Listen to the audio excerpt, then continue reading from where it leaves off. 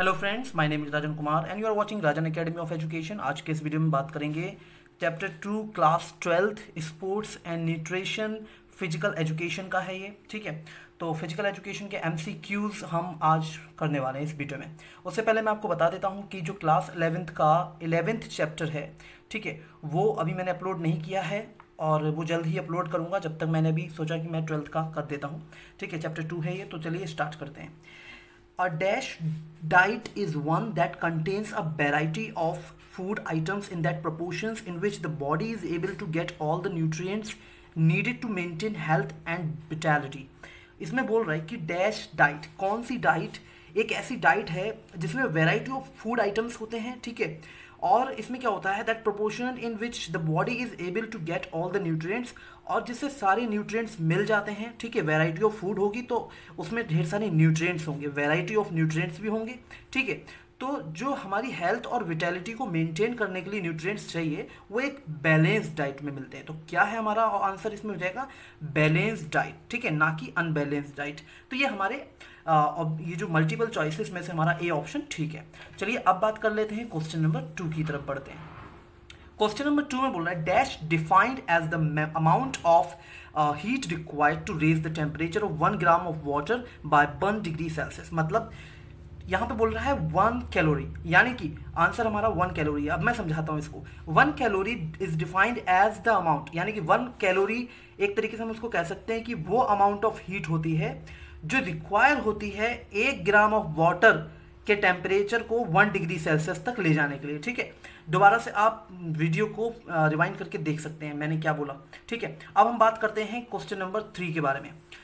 Question number three में है dash is the process of taking in nutrients and digesting और assimilating them अभी इसमें जो हमारा आंसर है ए न्यूट्रिशन ठीक है? यानी कि न्यूट्रिशन एक ऐसी प्रोसेस है जिसमें हम न्यूट्रिएंट्स को लेते हैं, ठीक है? हम न्यूट्रिएंट्स को लेते हैं और वो फिर and digesting and assimilating them उसको डाइजेस्ट करते हैं, ठीक है? और हमारे मतलब हमारे लिए एक तरीके से एनर्जी उससे मिलती है, ठीक है? हमारी हेल्थ के लिए बेनिफिशियल होते हैं। अब हम बात करते हैं क्वेश्चन नंबर फोर के बारे में। क्वेश्चन नंबर फोर में बोल रहे हैं dash nutrients that are needed in bulk यानी कि कौन से न्यूट्रिएंट्स हैं जो हमें बल्क में चाहिए होते हैं? तो भाई वो है मैक्रो न्यूट्रिएंट्स जो हमें बल्क में चाहिए होते हैं, ठीक है? और अब हम बात कर लेते हैं ये थोड़ा सा पानी वगैरह गिर गया है इस पर तो ये थोड़ा सा ख़राब सा हो गया ये यहाँ पर लिखावट। एनीवे anyway, अब हम बात करते हैं ये न्यूट्रिएंट्स लिखा हुआ है ठीक है? न्यूट्रिएंट्स तो dash nutrients that are needed in very small quantities by our body यानी कि वो न्यूट्रिएंट्स जो बहुत ही छोटी या हम कह सकते हैं काफ़ी छोटी क्वांटिटी में हमारी बॉडी को चाहिए होते हैं तो वो है माइक्रो न्यूट्रिएंट्स ठीक है? ये बहुत छोटी एक तरीके से कह सकते हैं क्वांटिटी में हमको चाहिए होते हैं। अब हम बात कर लेते हैं क्वेश्चन नंबर सिक्स के बारे में। क्वेश्चन नंबर सिक्स में बोल रहे हैं dash are the main source of energy in our body यानी कि मेन एनर्जी सोर्स जो है हमारी बॉडी में, वो क्या है? कार्बोहाइड्रेट्स ठीक है? Carbohydrates this is our right answer अब हम बात कर लेते हैं अब इसमें क्या बोल रहे हैं? यानी कि कार्बोहाइड्रेट जो है, वो हमारा मेन सोर्स है एनर्जी का, हमारी बॉडी के लिए। अब हम बात करते हैं क्वेश्चन नंबर सेवन में। डैश आर कॉम्प्लेक्स केमिकल्स यानी कि इसमें जो बोल रहे हैं प्रोटीन्स प्रोटीन्स क्या है? कॉम्प्लेक्स केमिकल सब्सटेंसेस हैं, जिनमें कार्बन ठीक है hydrogen oxygen nitrogen and sulphur होता है, ठीक है? अब हम बात कर लेते हैं क्वेश्चन नंबर एट के बारे में। क्वेश्चन नंबर एट में बोल रहा है dash provide more energy and heat as compare to carbohydrate यानी कि इसमें बोल रहा है आंसर जो हमारा है फैट्स फैट्स प्रोवाइड करते हैं एनर्जी और हीट ज़्यादा एज कंपेयर टू कार्बोहाइड्रेट्स यानी कि कार्बोहाइड्रेट से ज़्यादा जो हीट और एनर्जी है, वो कौन प्रोवाइड करता है? वो फैट्स प्रोवाइड करते हैं।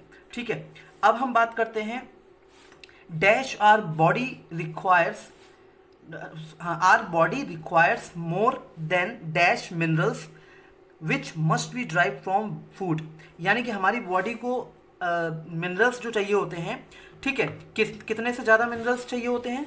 ठीक है खाने से। इसमें है नाइनटीन उन्नीस से ज़्यादा हमें मिनरल्स चाहिए होते हैं हमारी बॉडी को। ठीक है अब बात कर लेते हैं question number ten question number ten में बोल रहे हैं dash contributes to the formation of haemoglobin content of red blood corpuscles मतलब इसमें बोल रहा है कि हमें डैश कॉन्ट्रीब्यूट यानी कि आयरन कॉन्ट्रीब्यूट करता है आंसर हमारा आयरन आयरन कंट्रीब्यूट करता है to the formation of haemoglobin उससे हीमोग्लोबिन की फॉर्मेशन को कंट्रीब्यूट करता है, ठीक है, जो content of red blood cells red blood corpuscles ठीक है.